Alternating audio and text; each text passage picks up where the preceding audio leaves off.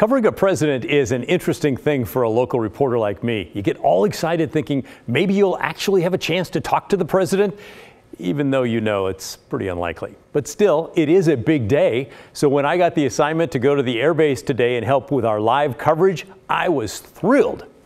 Here's a look behind the scenes at what the day was actually like. On my way to the airbase at Portland Airport, I drove along Northeast 33rd near Marine Drive to see what the homeless camp looked like. I've been through here several times, both in my car and on my bike. It's never looked this bad. I heard some campers had been moved off Marine Drive and came here. I don't know if that's true, but the number of vehicles here is incredible. I figured I would talk with the president about this if I got the chance. I arrived at the Air Guard base around 11 a.m. The media check-in time was 11:30. I figured I was right on time. I've been to the base before, and it's usually a quick check in at the security point. They look to see if your name's on a list and sometimes search the car. But with so many people trying to get in at once, it took forever. 20 minutes into the wait, I decided it was time for lunch. It's definitely taken a while. Good time for a sandwich. The only consolation was that I was not alone. But then, in the very important person lane next to me, I started to see political leaders passing quickly through. Just getting a shot of Senator Wyden going by. Pat from KGW, how are you, Senator? First, it was Senator Ron Wyden, then Congressman Peter DeFazio, eventually Governor Kate Brown. Governor Brown! After about 35 minutes, I was finally free to go, following that small car which escorted me and several others behind me to a parking lot. Then it was time to wait some more. I was supposed to do a live report, but that did not seem likely anymore. Reporters mingled with politicians. Lots of police hung out as well. These are just a few of the many people on base with guns to protect the president. And not to be left out, the Coast Guard made a pass overhead. Then I saw Peter Courtney. He's now got his own show. He can tell anybody what he wants. He tells him, this is my opinion. Courtney with the glasses is the Senate president for the Oregon legislature. He's joked with me since I first met him 32 years ago. This soldier was in charge of us all. We had to wait until he gave the okay. Eventually, it was time to walk toward the hangar where the president would speak. Hey, what are you doing? Hey! That's Secretary of State Shemia Fagan. Yeah, I'll bet that's that. It was amazing to see the armored limousines that carry the president. They were flown in on a huge jet to drive him around in Portland and Seattle. Eventually, the line stopped again. This time, Senator Courtney and I were next to Congressman Earl Blumenauer. You know, the guy had me do fundraisers for him, and he didn't show up. You get up there, it was unbelievable, and he was nowhere to be seen. And I did two of them, and I said, to hell with this. I don't even know the guy. It was pretty fun standing in line with Senator Courtney. He didn't even show up. Eventually, someone called for reporters to come to the front of the line. So we finally got to the check-in table, and then we got credentials that we're supposed to display at all times. They fit on the pinky. Well, the ring finger, anyway. It was not great, but it would do. On the other side of the door, police checked each of us for weapons. Inside the hangar, which is a military name for a building that sometimes stores planes, the press area stretched over five long tables that took up much of the room.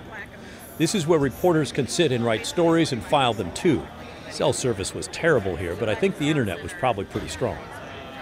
Of course, the place had a massive American flag and stage lighting, which did make sense because the plan was to open the hangar doors and have the airport in the background.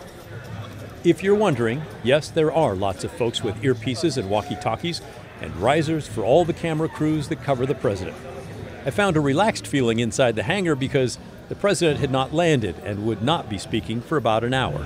Okay, we're almost all the way in. Uh, we're waiting for a press person to come escort me to the other side of this hangar wall. Just on the other side there.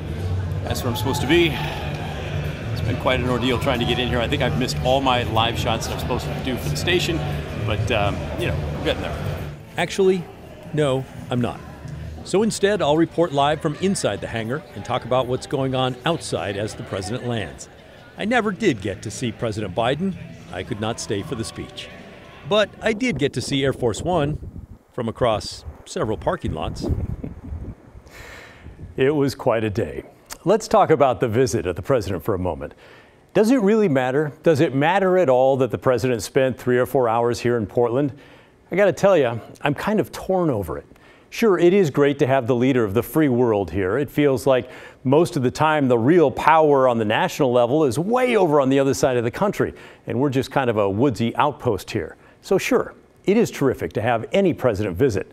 But in a real specific way, what's in it for us? What did you get from the president's few hours today in Portland?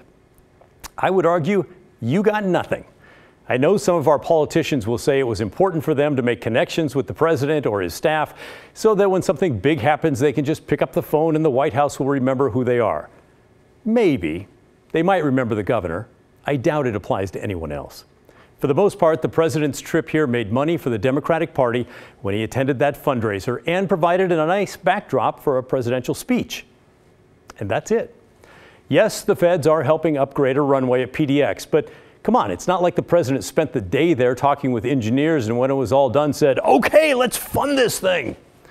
No, that money is fought for by our congressional delegation and others. They are the ones who are here, at least from time to time, really listening to you in town halls and elsewhere. They matter most on the federal level to us. And if you really want to know who impacts your life, it's your mayor and your local elected officials wherever you live. When the president's gone, our big problems will all still be here with us, and it's the local leaders who will be wrestling with them.